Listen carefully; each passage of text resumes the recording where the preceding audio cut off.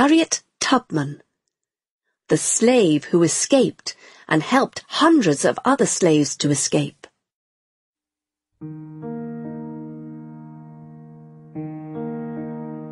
I escaped from slavery in the south of the USA. I then helped hundreds of other slaves to escape to the north of the USA and Canada. I also freed hundreds of slaves who wanted to fight in the Civil War. My parents were slaves for the Brodess family in Maryland, USA. I was the fifth of nine children. At the age of six, I started work as a nursemaid for another family. After that, I had to work in the woods and fields. Our owners did not think of us as people. For them, we were like animals or machines. If we did something wrong, they hit us or punished us in horrible ways. In 1831, at the age of 11, I started to do the same work as the adult slaves. Every day we had to work for many hours in the fields. Around this time I received an injury which I never forgot. I refused to stop a slave who was escaping. The slave's owner threw a metal weight at the slave, but it hit me on the head. It hurt a lot, and this injury gave me headaches for the rest of my life. In 1849, I was brave and tried to escape. I was married by then, but my marriage was very unhappy and I hated the thought of another year of slavery. Two of my brothers agreed to come with me.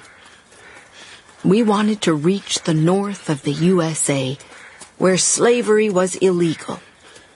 I could live there as a free woman.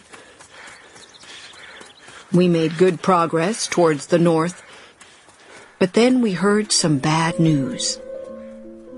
Our owner was offering $300 to anyone who caught us. My brothers became frightened, and we decided to return to Maryland. We were punished when we returned, but I still wanted to escape. A short time later, I escaped again. This time I went alone. I traveled at night, along quiet roads and paths. Some kind people helped me on the way. They gave me food and a place to sleep. Finally, I arrived in the city of Philadelphia in the north. The journey was long and difficult, but it felt wonderful to be free at last. In Philadelphia, I got a job and began to earn money. I missed my parents and my brothers and sisters. I was free, and I wanted my family to be free too.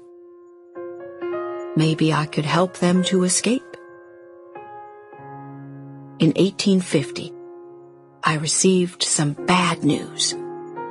My niece and her daughters were in danger. Their owner wanted to sell them, and they didn't want to go to different families. I decided to return to Maryland to free them. I had to help them to escape. We traveled at night and used the stars to find our way to the north. After helping my niece and her daughters, I helped many other slaves to escape. I offered to help my husband, John Tubman, too, but he didn't want to leave the South. He didn't want to be with me anymore, so our marriage ended. Soon, a new law made things a lot more difficult for me. It became illegal to help a slave to escape in the USA. I had to find a new route to Canada, where slavery was illegal. In 1857, I went on a very special journey to help my parents. They weren't slaves anymore, but their life in the South was very difficult. They were very happy to see me again and wanted to go with me to Canada. Our journey was very slow and difficult because my parents were old. We had a big celebration when we finally arrived in Ontario, Canada. In 1861, the American Civil War started. The Confederates from the South wanted slavery to continue. The Unionists from the North wanted slavery to become illegal. I joined the Union Army, which fought for the North. An Army captain, James Montgomery, heard about me. He discovered that I helped slaves to escape before the war, and he wanted my help. He wanted slaves to fight for freedom in the Union Army. I took a team of spies to the South and found slaves who wanted to join us. It was dangerous work, but we were very successful. On one trip, 700 slaves agreed to escape, and they became soldiers. On the 9th of April, 1865, the war ended. What could I do with my life now? I decided to fight for equal rights for black people and for women. I spoke at public meetings, and I tried to help black people who were poor and old. In 1896, I bought some land. And in 1903, I gave the land to my church. I wanted the church to start a home for black people who were poor and elderly. In 1908, the home opened for the first time. As I looked back at my life, I was very proud. I was happy that I helped so many people to find freedom.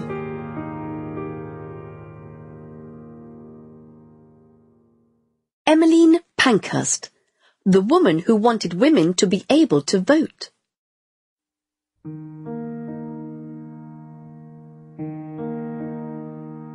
I campaigned all my life for equal rights for women. I started a political group which fought for the vote for women in Britain. After many years of protests, we finally won the right for British women to vote. When I was born in 1858, women in Britain didn't have the same rights as men. Most women couldn't go to school or university. They were only allowed to work in certain jobs, and they didn't have the right to vote. I grew up in Manchester, in the north of England, and I saw many problems every day Mothers had to bring up children in small, dirty houses. Disease was everywhere because of the terrible conditions. And most women only lived until they were around 50 years old. I knew from a young age that I wanted to improve women's lives. My parents believed in human rights.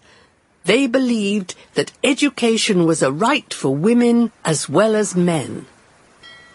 In 1873, my parents sent me to school in Paris. They wanted me to get a wider view of the world. In Paris, I was disappointed to discover that women were still not equal with men after the French Revolution action was needed, and I returned to England to begin the fight. In Britain, the political situation was quite unusual. Our ruler was a woman, Queen Victoria. She was a powerful leader, but she wasn't interested in women's rights. Our politicians were all men, and they definitely weren't interested in political equality for women. In 1879, I was surprised to discover a man who was campaigning for women's rights. His name was Richard Pankhurst, and he was a lawyer. We shared many of the same beliefs and ideas. We got married and started a family. For almost 20 years, Richard and I fought for political rights for women. Then sadly, my dear husband died. My daughters and I were very sad, but we decided to continue our campaign. The two oldest daughters, Christabel and Sylvia, became activists. In 1903, we started the Women's Social and Political Union, WSPU. It was a group that fought for the right for women to vote. Christabel became one of our bravest leaders. Sylvia was an artist, and she designed our posters and signs. The WSPU organized many public meetings and protests. Sometimes the police arrested our members. Christabel was one of the first to go to prison.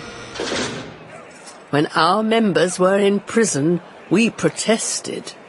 And when our members came out of prison, we celebrated in the streets.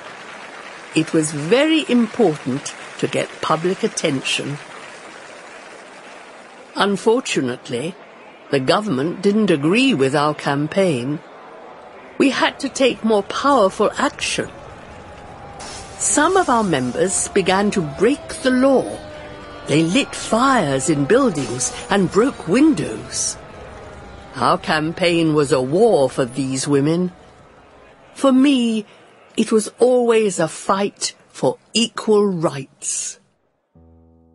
Every time I was arrested, I told the judge, we don't want to break laws, we want to make new laws. But the lawyers and politicians didn't want to listen. In 1910, Prime Minister Asquith, the government leader, stopped a new law that gave women the vote. We were shocked and angry. On Friday, the 18th of November, I led a group of women to meet the Prime Minister, but he refused to see us. We started to protest in the street, and a hundred women were arrested. It was a terrible day. We called it Black Friday. In 1914, the First World War began, and we agreed to stop our campaign. Women were now needed as nurses in hospitals and to work in factories and on farms. In 1917, we started a new group with a new name, the Women's Party. In 1918, the First World War ended. The government realized that women were an important part of the victory in the war. At last, women were given the right to vote. But only women over 30 years old who owned a home could vote. Any man over 21 could vote. We still didn't have full equality. After the war, I went to live in the USA, Canada, and also Bermuda. In 1926, I returned to England. I wanted to become a politician, but my health wasn't good enough.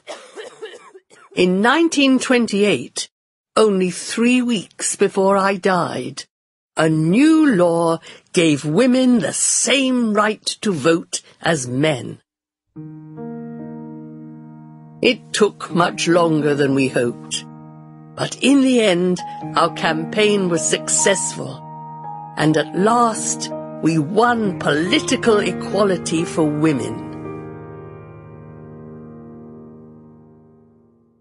Maria Montessori, the doctor who discovered a new way to teach children.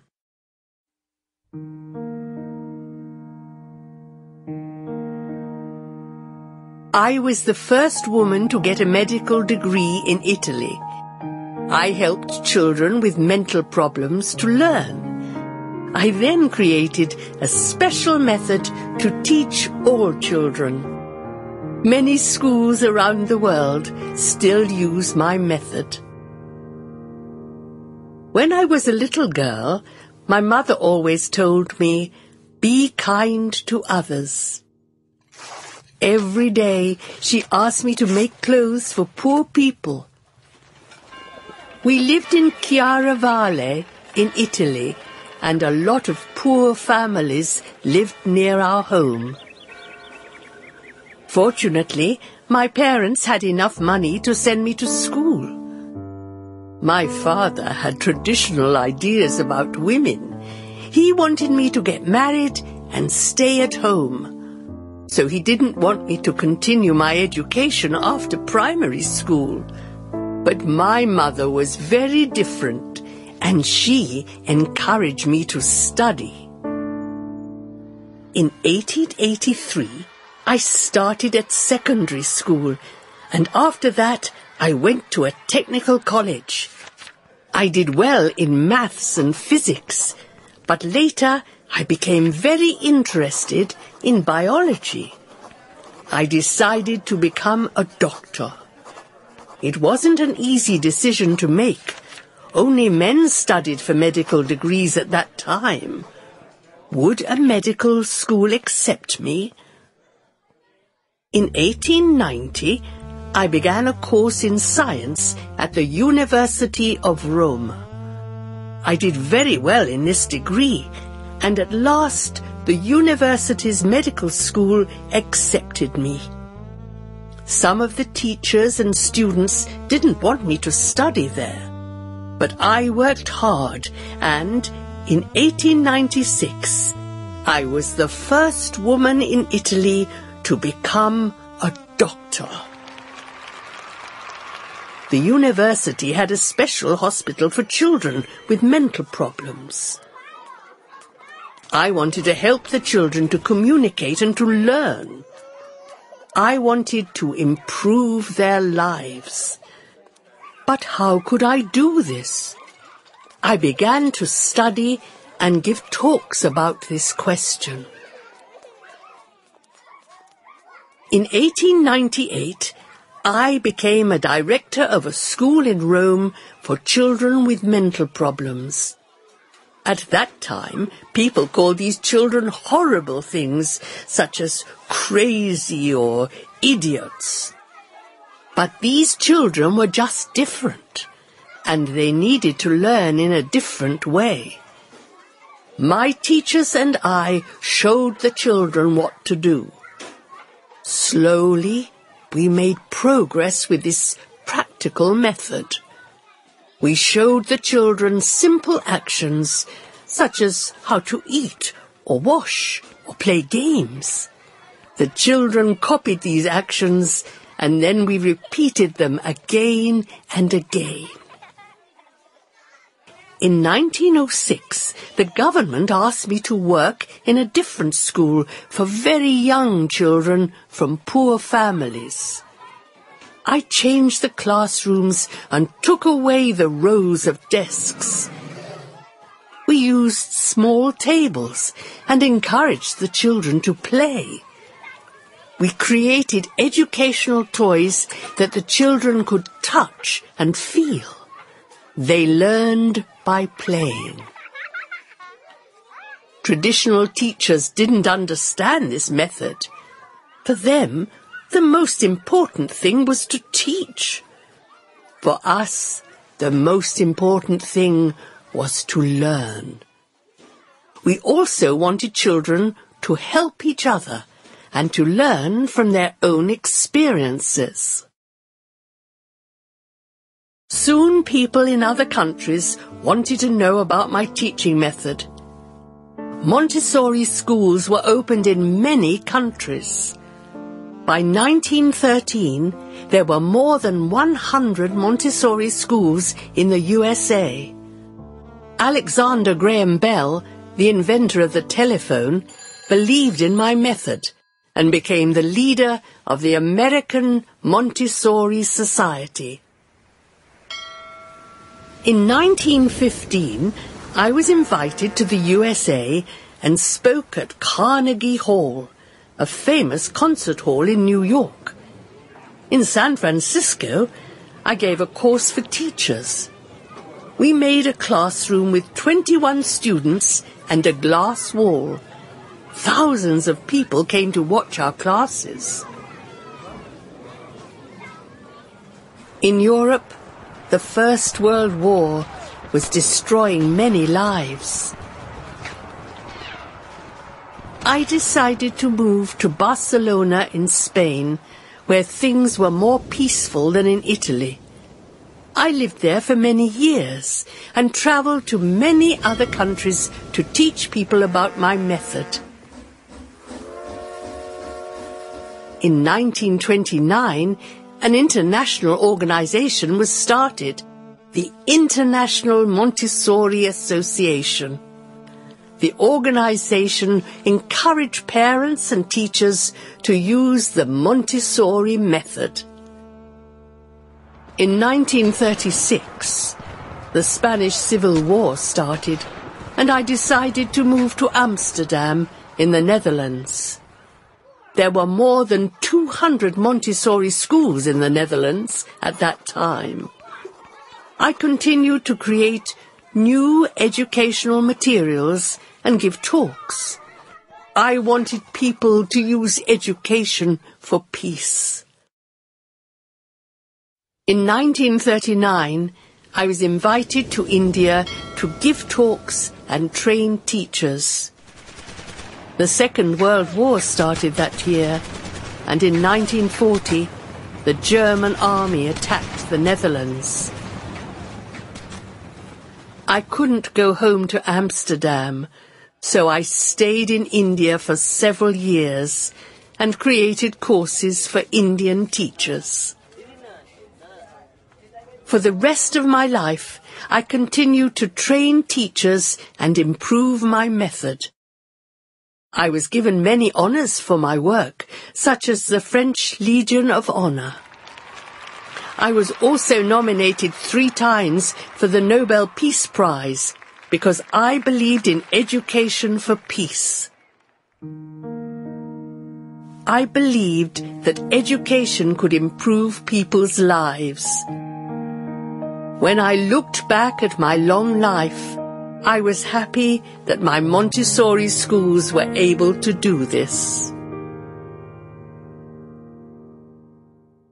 Helen Keller, the deaf and blind woman who became a famous teacher.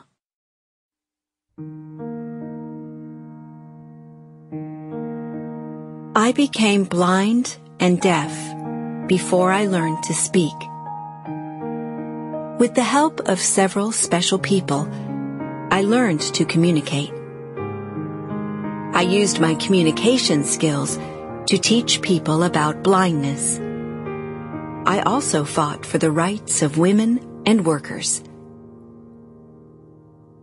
I was born in 1880 in Alabama in the USA.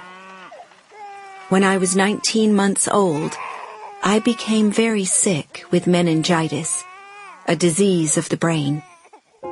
I got better after the illness, but unfortunately I couldn't see or hear anymore. I found it very difficult to learn and I became very angry. I was able to think, but I could not communicate my thoughts. It was a very difficult time for me and for my parents.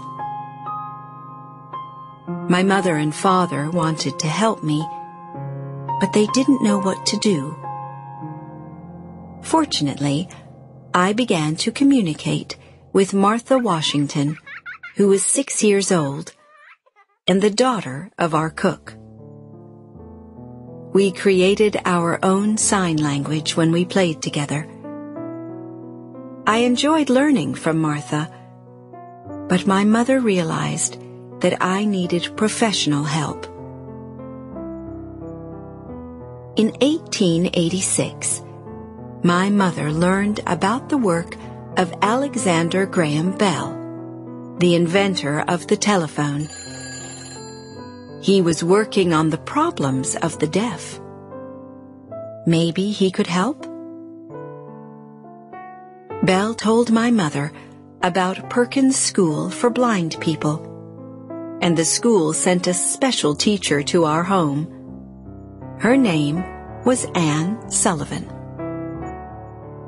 At first, I was a very difficult student, but Anne Sullivan was very kind to me. One day, we were getting water from the well when Anne drew some signs on my hand. I realized that she was writing the word water. I was so excited. Within a few hours, I could read more than 30 different words. At last, I could communicate with other people, and they could communicate with me. Anne helped me to escape from my lonely world. When I was eight years old, I went with Anne to the Perkins School for Blind People. At the school, I was excited to discover that there were other children like me.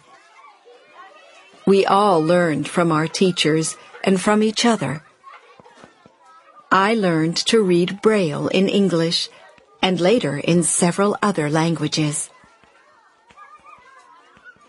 In 1894, Anne took me to New York, and I studied at several different schools for the blind and deaf. I tried to learn to speak, but it was difficult. My voice worked, but I didn't know how to use it properly.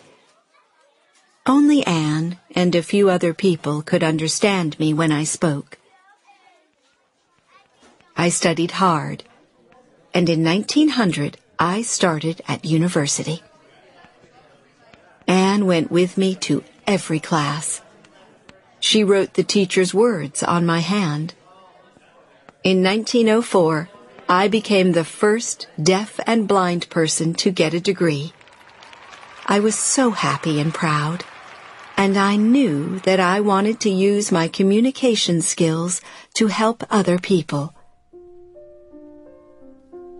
At first, I worked with organizations that fought for women's rights. Then, in 1912, I started to work with workers' organizations. I discovered that some types of work made people blind. I wanted people to know about this problem, so I wrote a book in Braille about it. In 1915, I started my own organization, Helen Keller International, which still teaches people about blindness. I wanted everyone to know that in many cases, blindness can be prevented. For many years, I traveled around the world and talked to groups of people about blindness. I communicated with Anne. She then spoke my words for me. Our talks became very popular, and sometimes we earned up to $2,000 a week. We gave the money to organizations that helped blind people. When Anne became ill, Polly Thomson became my guide. Unfortunately, in 1936, Anne died. She did so much for me, and I never forgot her. With the help of several special people, I wrote 12 books about my beliefs. I became famous because of the talks and the books. Important people wanted to meet me. I even met the King of England and the President of the USA. Polly Thomson helped me with my work until she became very ill in 1957. After that, Winnie Corbally became my guide and traveled with me to teach people about blindness. Our work was helped by a theater play, The Miracle Worker, about the life of Anne Sullivan. In 1962, it became a popular film. In 1964, I won an important award from the President of the USA for my work. The year after that, my name was added to the list of the most successful women in the USA, the Women's Hall of Fame.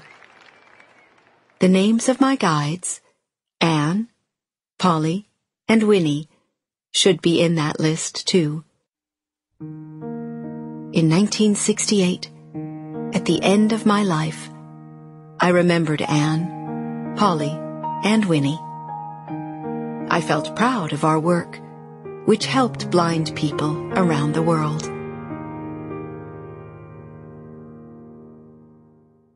Eva Peron, the actress who helped poor and sick people in Argentina.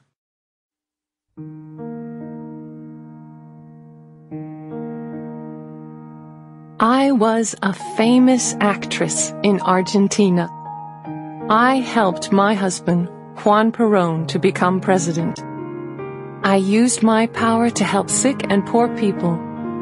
I also helped women to get the vote for the first time in Argentina. I was born in 1919 in Los Toldos, in the Argentinian countryside. My mother was a poor country girl, but my father was a rich man from the city. Unfortunately, my father died when I was very young, and life was very hard for my family. My mother worked hard to earn money. She made clothes for other people. Four years after my father died, in 1930, we moved to a small apartment in the city of Junin. Life was very difficult at first, but my brothers and sisters were growing up. Soon they got jobs. With their money, we moved to a larger home, and I was able to start school. I enjoyed school very much, but my favorite lessons were singing and acting. In 1933, I won a role in the school play. I was so excited. From that day, I knew that I wanted to be an actress. It was my dream. In 1935, when I was 15 years old, my mother found me a place to live in Buenos Aires. It was exciting for me to be in this amazing city, but it was a time of great economic problems. Many people didn't have work, and everywhere I went, I saw poor and hungry people in the streets.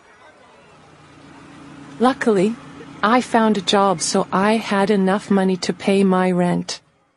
During the day, I worked, and in the evenings, I joined a theater group. Soon I was given my first role at the Comedias Theater, and in 1936, I traveled with the theater company around Argentina. I also got my first part in a film.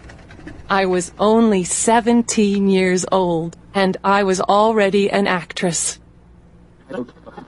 In 1937, I started working for Radio El Mundo on a popular radio show. Radio El Mundo was the biggest radio company in Argentina, and soon my name was well known. Then Radio Belgrano asked me to work for them on their show, Great Women of History. On the show, I played some famous roles.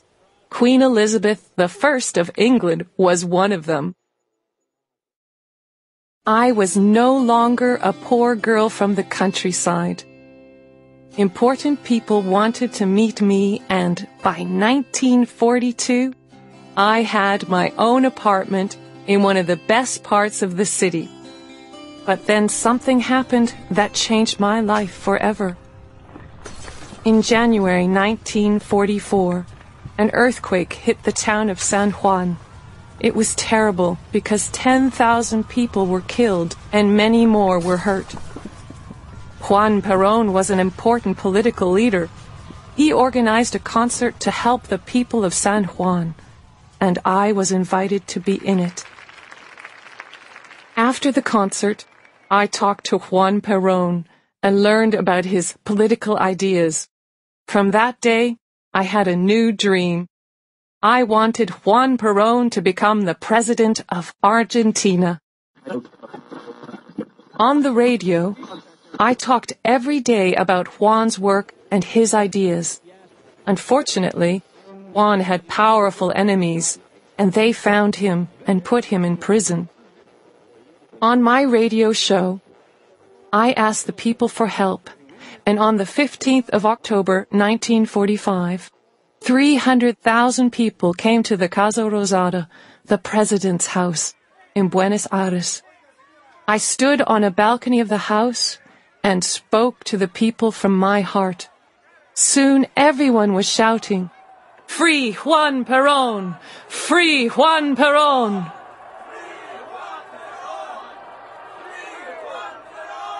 Two days later, Juan was free, and the following day, Juan and I got married. We were so happy. We traveled together around Argentina and we both spoke at political meetings. I told the people that Juan could help them and their families. I also asked them to call me Evita, Little Eva. We were a great success, and in 1946, Juan Perón became the president of Argentina. Suddenly, at the age of 27, I was the president's wife and the First Lady of Argentina. I wanted to work hard and help the people. In 1947, Evita City was built to give homes to poor families. And in 1948, I started the Eva Perón Foundation, an organization to help poor and sick people. By 1950, the foundation had received over $200 million and had 14,000 workers. We also gave out thousands of shoes and cooking materials and built hospitals and schools. I worked day and night and met with thousands of sick and poor people. I wanted to give them hope I also wanted women to have more political power. When Juan became president, women weren't able to vote. Juan and I fought to change this, and I also started a new political party for women. It was called the Female Peronist Party. By 1951, the party had more than 500,000 women members. With the help of these women, Juan Perón became president for the second time. Many people wanted me to have a bigger political role, but I had to say no. I was already working too hard, sometimes more than 20 hours a day. And the problems I saw every day were making me ill. My husband asked me to take more rest but the poor and sick people needed my help. I couldn't stop. I was taken to hospital several times and lost a lot of weight. I was also in a lot of pain and the pain got worse and worse. I wanted to help my husband, but it wasn't possible. I wanted to see our country become a better place. But unfortunately, this didn't happen. I was only 33 years old when I died. But people around the world still remember me. And many people in Argentina still think of me as their Evita. Nancy Wake, the woman who became a spy in the Second World War.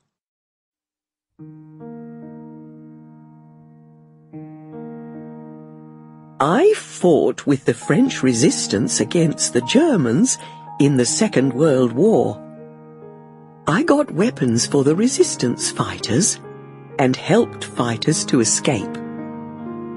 I was part of the final victory against the Germans in 1945. I was born in New Zealand, but I grew up in Sydney, Australia. When I was 16 years old, I left home and got a job as a nurse in the Australian countryside. In 1932, I received a surprise. £200 from my aunt. It was a lot of money at that time, and I decided to spend it. I went to Sydney Harbour and bought a ticket to North America. I enjoyed the journey on the ship and then travelled around the USA and Canada. When I wasn't travelling, I worked as a waitress to earn some money. After a while, I moved to Britain. I wanted to work on a newspaper, so I studied to become a newspaper reporter. I got my first job on a newspaper in Paris, where I learnt to speak French. I went to Germany and Austria for the newspaper. I saw the terrible things that Adolf Hitler and his Nazi party were doing in their country. I realized then that the Nazis were very dangerous, and they wanted to rule the whole of Europe. In 1940, the Germans attacked France and occupied most of the country. I was already living in the south of France, where I married my first husband, a businessman, Henri Fiocca. We both hated the Nazis and wanted to help in the war against them. I began to work for the French resistance in Marseille. I delivered secret messages to the resistance fighters, and I also helped fighters to escape. The Germans tried to catch me. I used false papers and changed my appearance so they didn't recognize me. In 1943, the Germans caught me, but luckily I escaped. It was too dangerous for me to stay in France. I had to leave my husband and go over the Pyrenees Mountains to Spain. From Spain, I escaped to London and joined the British Army. I was a little surprised when the British wanted me to become a spy. They wanted me to be part of a secret army which helped the French resistance. The training with the British Army was very hard, and I worked night and day to learn the special skills. I learnt how to look after injured fighters. I also learnt to kill. And so, I became a spy and set off on my first mission to France. I arrived in France on the 29th of April 1944. At first, the French resistance didn't believe that I could help them. They didn't think that a woman could be a fighter. A resistance leader told one of his men, This woman could be an enemy. Ask her to go for a walk with you. When no one is around, kill her they didn't realize I could speak French. I understood everything. When we went for the walk, I told the man, If you attack me, I will kill you first. He believed me and took me back to the camp. At last, the resistance allowed me to join them. I got weapons from Britain and also took part in their attacks against the Germans.